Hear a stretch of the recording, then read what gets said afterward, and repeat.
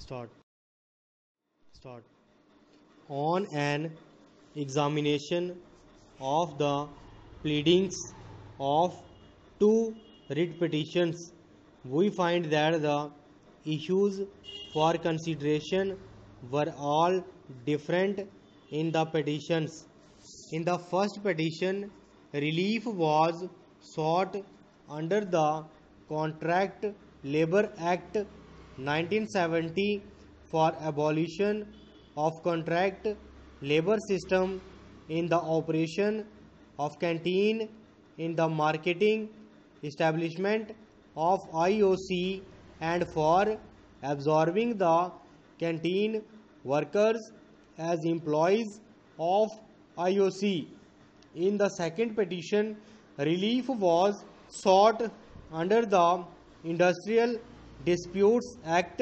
1947 for making a reference under section 10.1 to the Industrial Tribunal to decide whether the contract between IOC and the canteen contractor was sham, nominal, and a mere camouflage to avoid extension of labor law benefits to the workers in question and whether the canteen workers were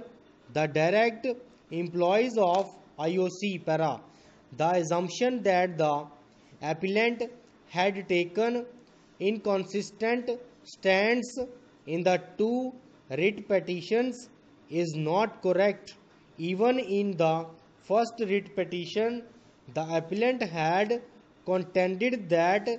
though the contractors changed from time to time, the workers in the canteen remained the same with continuity of service that IOC had malafide and illegally kept the workers as contract labor in order to keep them in a permanent state of insecurity and to deny them the wages and privileges available to permanent workers that IOC was actually controlling and supervising the canteen and that only as a camouflage the contractor was shown as running the canteen to create a pretense that the workmen of IOC were the workers of the contractor. When it when in fact they were the employees of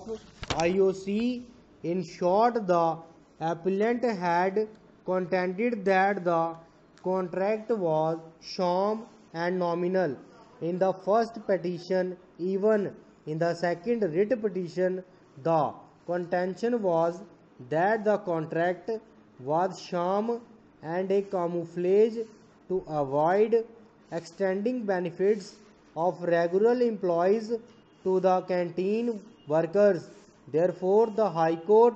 committed a serious error in assuming that in the first writ petition the appellant had conceded that the contract between the IOC and the canteen contractor was valid and genuine and that in the second writ petition the appellant had taken a contrary stand that the contract was sham and a camouflage para the stand of the appellant and the worker was always consistent. But before the decision of a constitution bench of this court in steel authority of india limited versus national union waterfront workers 2001 7 scc 1 it was thought that the appropriate relief available was to seek an investigation and abolition of contract labor and consequently seek absorption Therefore, the prayer was made in the first petition. This court held that even if, if there was an order under section 10 of the act prohibiting contract labor in any process of operation there would be no automatic absorption of the contract labor by the principal employers it was also held that it was always open to the contract labor to urge that the contract was sham and nominal by raising an industrial dispute and such dispute